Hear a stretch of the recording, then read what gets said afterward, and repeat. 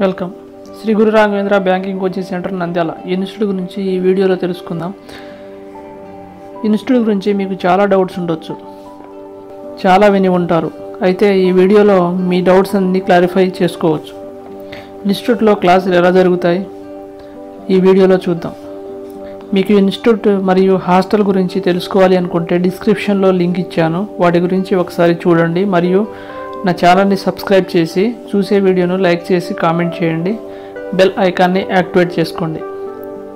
టాపిక్లోకి వెళ్తే Facebook web Facebook site వచ్చేసి ఎస్ఎస్జిఆర్బిసిసి అఫీషియల్స్ అని ఉంటుంది.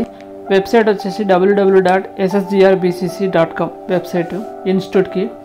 అండ్ ఇప్పటి వరకు జాబ్ సెలక్షన్స్ ముప్పై మూడు వేల ఆరు వందల తొంభై జాబ్స్ వచ్చాయి ఇన్స్టిట్యూట్లో.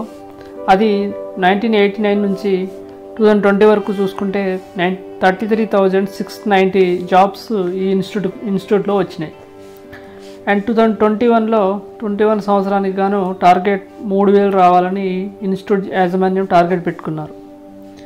అయితే టూ థౌజండ్ ట్వంటీ వన్ జనవరి వన్ మంత్ చూసుకుంటే మూడు వందల డెబ్బై మూడు జాబ్స్ వచ్చినాయి. అందులో పదమూడు POs and three sixty clerks వచ్చినాయి.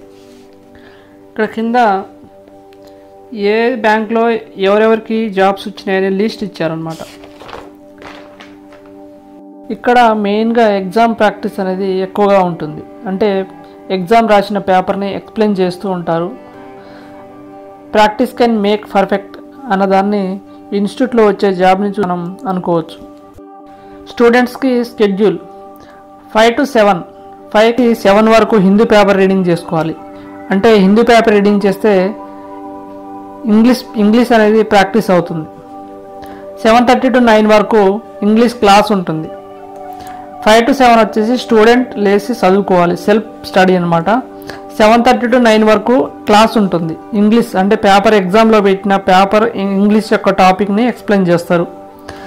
Ten thirty to twelve fifteen వరకు ఎగ్జామ్ ఉంటుంది. Next two thirty to three thirty వరకు క్వాంటిట్యూడ్ యాప్టిట్యూడ్ బేసిక్ క్లాసెస్ ఉంటాయి. కొన్నిసార్లు స్టూడెంట్ ఎక్కువైతే మళ్ళీ టెన్ థర్టీ టు ట్వెల్వ్ వరకు ఎగ్జామ్ ఉండి మళ్ళీ ఇంకొక బ్యాచ్ వన్ నుంచి కానీ టూ నుంచి కానీ త్రీ థర్టీ వరకు మళ్ళీ ఎగ్జామ్ ఉంటుంది. ఫైవ్ టు సెవెన్ థర్టీ వరకు ఆ పేపర్ ఎక్స్ప్లెనేషన్ చేస్తారు. ఎగ్జామ్లో ఇచ్చిన రీజనింగ్ అండ్ క్వాంటిటీ యాప్టిట్యూడ్ని ఎక్స్ప్లెయిన్ చేస్తారు. లో ఇప్పటి వరకు వచ్చిన జాబ్స్ ఏ బ్యాంక్లో ఎన్ని పోస్టులు వచ్చినాయి అనేది ఇక్కడ ఇచ్చారు డేటా. ఇక్కడ చూస్తే మొత్తం ముప్పై మూడు వేల ఆరు వందల తొంభై ఉన్నాయి. అయితే ఏ బ్యాంక్లో ఎన్ని పోస్టులు వచ్చినాయో ఉన్నాయి. చాలామందికి డౌట్ ఉండొచ్చు. ఎగ్జామ్ పేపర్లో అన్ని టాపిక్స్ కవర్ అవుతాయా లేవా అని. అయితే IBPS RRB clerk and PO main exam చూస్తే టెస్ట్ ఆఫ్ రీజనింగ్ సిలబస్లో టాపిక్స్ ఎలా ఉన్నాయి? ఫస్ట్ సిట్టింగ్ అరేంజ్మెంట్ ఇచ్చారు. సిట్టింగ్ అరేంజ్మెంట్ ఇచ్చేసి దానికి ఐదు ఫైవ్ క్వశ్చన్స్ ఉన్నాయి. తర్వాత alpha numeric series. Alpha numeric series ఇచ్చేసి study the following arrangement carefully and answer the questions given below దాని కింద ఫైవ్ క్వశ్చన్స్ ఉన్నాయి. అంటే ఆల్ఫా నెంబర్ సిరీస్ టాపిక్స్ కూడా కవర్ అయిపోతుంది. తర్వాత study the following information carefully and answer the given question given below ఒక arrangement ఇచ్చారు. అది మంత్స్ అనమాట March May June July August October November ఈ మంత్స్ మీద అరేంజ్ చేయాలి. అరేంజ్ ఇచ్చిండు అరేంజ్ అరేంజ్మెంట్ ఇచ్చిండు అనమాట నెక్స్ట్ క్వశ్చన్ సిలాజియం ఇచ్చారు. Statement and conclusion. Four three options ఇచ్చేసి దాన్ని కంక్లూజన్ మనం సిలాజియం చేయాల్సి వస్తుంది. సిలాజియం టాపిక్ తెలుసు ఆ సిలాజియం టాపిక్ కూడా కవర్ అవుతుంది. తర్వాత క్వశ్చన్ కోడెడ్ ఇన్ఈక్వాలిటీస్. ఇక్కడ ఫైవ్ క్వశ్చన్స్ ఉన్నాయి. కోడెడ్ ఇన్ఈక్వాలిటీ కూడా కవర్ అవుతుంది ఇక్కడ topic. Next question study the following information carefully and answer the question given below.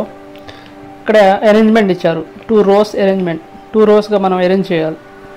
ఈ టాపిక్ కూడా ఈ- టాపిక్ కానీ ఈ ఈ next question input output. Input ఇచ్చేసి ఫైవ్ క్వశ్చన్స్ ఇస్తారు. అవి ఈ టాపిక్ కానీ ఈ పేపర్లో కవర్ అవుతుంది input output. Next question.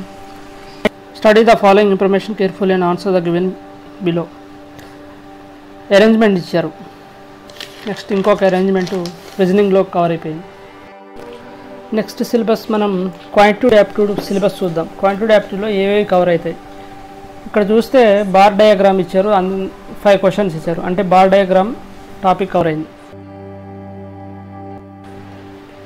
తర్వాత సింప్లిఫికేషన్ అండ్ అప్రాక్సిమేషన్ క్వశ్చన్స్ ఇస్తారు అండ్ సింగిల్ ఐటమ్ ఇస్తారు. మొత్తం సింప్లిఫికేషన్ అండ్ సింగిల్ ఐటమ్ కలిపి పదిహేను క్వశ్చన్ ప్రతి పేపర్కి ఒక పదిహేను క్వశ్చన్లు single next question quadratic equation ఇచ్చారు. క్వాడ్రటిక్ ఈక్వేషన్స్ని మనం ఫైవ్ క్వశ్చన్స్ వస్తాయి. ఈ టాపిక్ కానీ ఈ పేపర్లో కవర్ అవుతుంది తర్వాత టాపిక్ డేటా ఇంటర్ప్రిటేషన్స్. ఆ టాపిక్ కానీ ఈ కవ ఈ పేపర్లో కవర్ అవుతుంది నెక్స్ట్ క్వశ్చన్స్. ఒక టేబుల్ ఇచ్చి ఆ టేబుల్ కింద ఫైవ్ క్వశ్చన్స్ ఇస్తారు. ఈ టేబుల్ టేబుల్ క్వశ్చన్ కూడా దీంట్లో కవర్ అవుతుంది next question data sufficiency. Data సఫిషియన్సీకి five questions ఇచ్చారు. డేటా సఫిషియన్సీ కానీ ఈ టాపిక్లో కవర్ అవుతుంది నెక్స్ట్ ఇంగ్లీష్ లాంగ్వేజ్ ఇంగ్లీష్ లాంగ్వేజ్లో ఒక ప్యాసేజ్ ఇస్తారు. ఆ ప్యాసేజ్ కింద ఫైవ్ టు సిక్స్ క్వశ్చన్స్ ఉంటాయి.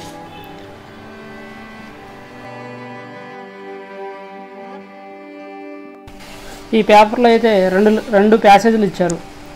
అంటే ప్రాక్టీస్ కోసం రెండు ప్యాసేజ్లు ఇచ్చారన్నమాట. రెండు ప్యాసేజ్లు ఇచ్చి ప్రతి ప్యాసేజ్కి ఒక సిక్స్ టు సెవెన్ క్వశ్చన్స్ ఇచ్చారు. Next question grammatical correct sentence గ్రామాటికల్గా మనం ఆ ఖాళీ ఇచ్చిన దాంట్లో కరెక్ట్ సెంటెన్స్ ఏది వస్తుందో అది ఫిలప్ చేయాలి. ఆ టాపిక్ వచ్చింది. Next question either misspelt or grammatical incorrect questions ఇలాంటి ఫైవ్ క్వశ్చన్స్ ఇచ్చారు. Next questions in the question consist of four sentence one of this may or may not contain some error choose the one which has error as your answer if all the given sentences are correct choose e. None of this as your answer. Five క్వశ్చన్స్లో ఏదో ఒకటి correct ఉంటుంది. లేదా అన్నీ కాదంటే నన్ of this తీసుకోవాలి. ఈ topic ఒకటి ఇచ్చారు. నెక్స్ట్ ఒక para completion read the following passage and answer the question following it several alphabet are given to help you assist in answering this question paragraph complete చేయాలి. ఇలాంటి ఈ ఒక టాప్లో ఫైవ్ సిక్స్ క్వశ్చన్స్ ఉంటాయి. Computer knowledge next topic computer knowledge. Computer నాలెడ్జ్కి నలభై క్వశ్చన్లు ప్రతి పేపర్కి ఫార్టీ క్వశ్చన్స్ ఇస్తారు. మనం ప్రతి పేపర్ ఇలా రోజు పేపర్ అన్ని ప్రిపేర్ అవుతూ ఉంటే ప్రతి టాపిక్ అంటే ఇప్పుడు ఇచ్చిన టాపిక్ వేరే నెక్స్ట్ ఇవ్వకుండా అండ్ మళ్ళీ ప్రాక్టీస్ చేయడానికి మళ్ళీ ఇస్తూ ఉంటారు. అదే టాపిక్ కానీ క్వశ్చన్ వేరే ఉంటుంది. టాపిక్స్ వస్తూ ఉంటాయి మళ్ళీ కొత్త కొత్త టాపిక్స్ కూడా యాడ్ అవుతూ ఉంటాయి. అలా ప్రతి పేపర్ డిజైన్ చేస్తారు. ప్రతి పేపర్లో క్వశ్చన్స్ అనేది అంటే టాపిక్స్ అనేవి ప్రతి అన్ని topics add next general awareness general general awareness కూడా ఒక ఫార్టీ క్వశ్చన్స్ ఉంటాయి. అది అప్డేటెడ్ ఇస్తూ ఉంటారు. ఆ జనరల్ క్వశ్చన్స్ మనం ఈ పేపర్లో ఇచ్చిన జనరల్ నాలెడ్జ్ మనం రోజు మనం ఫాలో అవుతుంటే అండ్ మనం కొన్ని మెటీరియల్ ఇస్తారు. ఆ మెటీరియల్ కూడా ఫాలో అయితే మనకు జనరల్ అవేర్నెస్ సరిపోతుంది. ఇలా బ్యాంక్ ఎగ్జామ్ పేపర్ కంప్లీట్ అయిన తర్వాత లాస్ట్లో ప్రతి ప్రతి లాస్ట్ పేపర్కి లాస్ట్లో ఏదో ఒక ఎగ్జామ్ వేరే ఎగ్జామ్ అన్నమాట RRB NTPC SSC RRB railway అలా వేరే ఎగ్జామ్స్ యొక్క పేపర్ మోడల్ని ఇస్తూ ఉంటారు. ఆ పేపర్లో కూడా మనం అవి ఫాలో అయితే కూడా మనం వేరే ఎగ్జామ్ కూడా ప్రి ప్రిపేర్ అయినట్టు ఉంటుంది. ప్రతి పేపర్కి లాస్ట్లో వేరే పేపర్ కంపల్సరీ ఉంటుంది.